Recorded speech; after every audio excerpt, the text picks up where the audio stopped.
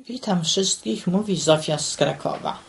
Prorocy i historycy. W całej Biblii prorocy używają zwrotu słowo pańskie lub podobnych takich jak tak mówi Pan. Krótko mówiąc, wskazują oni, że to Bóg przemawia za ich pośrednictwem, więc powinniśmy te przesłania traktować bardzo poważnie. Jak pojęcia te zostały ukazane w Jeremiaszu 1, 14 do 19.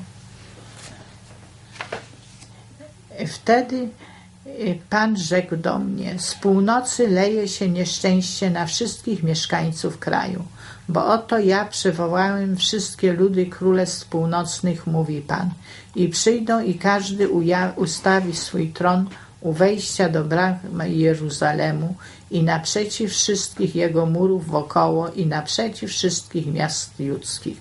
Wtedy wypowiem na nich swoje wyroki z powodu wszystkich ich złości, że mnie opuścili, kadzili obcym bogom i oddawali pokłon dziełu swoich rąk.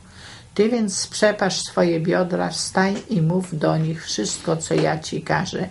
Nie lękaj się ich, abym ja nie napełnił cię lękiem przed nimi.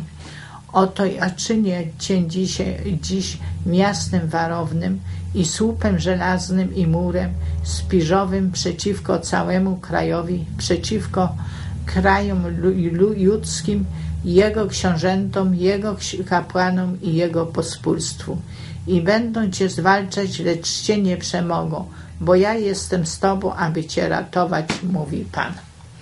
Czytelnik Pisma Świętego może prześledzić bolesny proces historyczny prowadzący do wydania Jerozolimy w ręce Babilończyków, będący spełnieniem Bożych przepowiedni dla Izraelitów.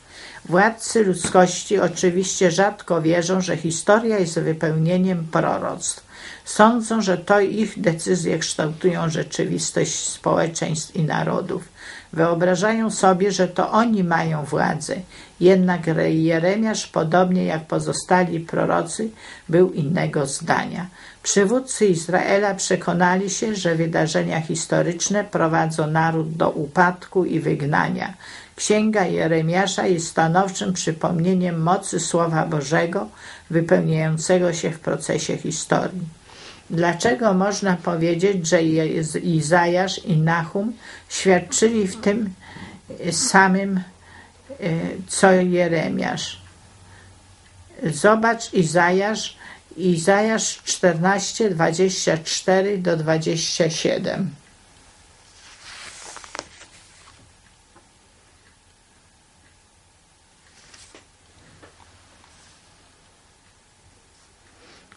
Przysiągł Pan zastępów, mówiąc: Ja pomyślałem, tak się dzieje, i jak postanowiłem, tak się staje. Asyryjczyka rozbije na mojej ziemi i na moich górach zdepczą, zdepczę go, aby zdjęte było z nich jego jarzmo, a jego brzemię z ich ranion. To jest plan postanowiony co do całej ziemi a to jest ręka podniesiona przeciwko wszystkim narodom. Jeżeli Pan zastępów to postanowił, któż to unicestwi? Jego ręka jest wyciągnięta, któż ją odwróci?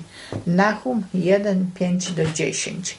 To nieskończona moc Boga, widoczna w historii ludzkości, przejawia się także w przyrodzie. Na przykład Psalm 104 opisuje procesy zachodzące w przyrodzie nie jako samoczynne, automatyczne i spontaniczne, ale jako procesy, w które wszechmocny jest zaangażowany na każdym etapie. Biblia nie przedstawia Boga jako tego, który stworzył świat i pozostawił go samemu sobie, zdanego jedynie na działanie praw przyrody.